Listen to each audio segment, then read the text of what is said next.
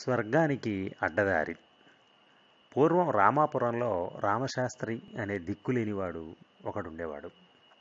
వాడు ఊళ్ళో వాళ్ళు చెప్పిన పని చేస్తూ పెట్టింది తింటూ రాత్రిపూట బోయ్ భజన మండపంలో పడుకునేవాడు. ఆ మండపంలో హరికథా కాలక్షేపాలు జరిగేవి. ఆ హరికథలు వింటుంటే వాడికి స్వర్గలోకం ఇంద్రుడి వైభోగం అప్సరసల నాట్యాలు స్వర్గ సుఖాలు బాగా తలకెక్కాయి. ఒకనాడు హరిదాసు తీరిగ్గా ఉన్న సమయంలో వాడు ఆయన్ని కలిసి స్వామి స్వర్గ సౌఖ్యాలు అనుభవించడానికి సులభమైనటువంటి మార్గం ఏమిటి? అని అడిగాడు. నాయన స్వర్గ సౌఖ్యాలు ఎంతో పుణ్యాత్ములకు కానీ లభించవు. నువ్వు ఈ లోకపు సౌఖ్యాలు అనుభవించి తృప్తిపడు అన్నాడు హరిదాసు. ఆ మాటతో తృప్తి పడక రామశర్మ నాకు ఇహశోకాల మీద ఇహ ఇహసుఖాల మీద కోరిక లేదు. వీలైనంత త్వరగా స్వర్గాన్ని చేరుకోవాలన్న ఆశ అన్నాడు. హరిదాసు విసిగిపోయి వైకుంఠ ఏకాదశి నాడు ఏ గంగలోనైనా దూకు స్వర్గం చేరుకుంటావన్నాడు ఈ రామశర్మ ఆ రాత్రికి రాత్రి ఊరు విడిచి కాలినడకన కొండలు కోనలు నదులు అరణ్యాలు దాటి వైకుంఠ ఏకాదశి నాటికి గంగా తీరం చేరి గంగకు నమస్కరించి అందులోకి దూకాడు.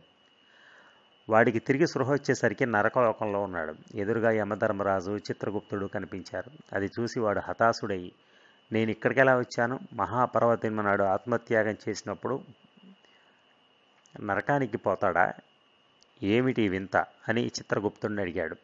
అది నిజమే కానీ నీవింకా ఆయుష్ ఉంది. మానవుడి జన్మెత్తినందుకు నీ విధులు నెరవేరిస్తే గాని నీకు స్వర్గం లభించదు అన్నాడు చిత్రగుప్తుడు. ఇంకా నువ్వు వెళ్ళొచ్చు అని యముడు చెయ్యి ఊపేసరికి రామశర్మ గింగిరాలు తిరుగుతూ వచ్చి గంగా ఒడ్డున పడ్డాడు.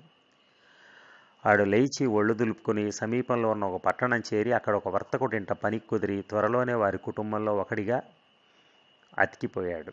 వర్తకుడు వాడికి తన కుమార్తెనిచ్చి పెళ్ళి చేసి తన వ్యాపారాన్ని వాడికి అప్పచెప్పాడు కాలక్రమాన రామశర్మకి ఇద్దరు పిల్లలు కలిగారు. మళ్ళీ వాడి బుద్ధి స్వర్గ సుఖాలకేసి మళ్ళింది. మనుష్య జన్మ ఎత్తినందుకు పెళ్ళాడి సంసార సుఖం అనుభవించి పిల్లలను కని తన విధులు నిర్వర్తించాడు. అందుచేత అతనికి స్వర్గానికి పోవచ్చు అనిపించింది ఎవ్వరికి చెప్పకుండా మళ్ళీ గంగలో దూకాడు.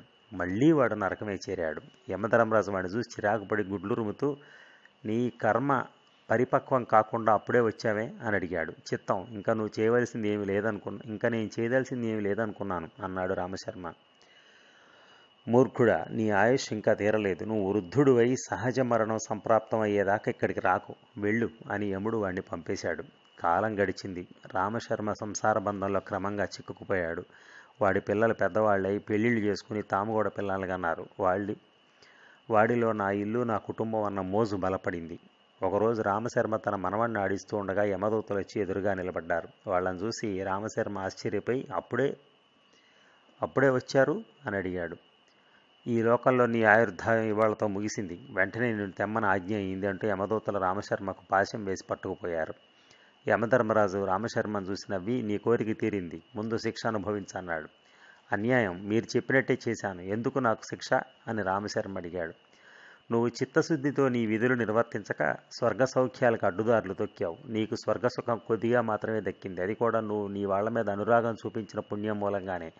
అందువల్ల ముందు నరకంలో శిక్ష పూర్తిగా అనుభవించి తర్వాత స్వర్గంలో ఆ కొద్ది సుఖం అనుభవించగలవు అన్నాడు యమధర్మరాజు.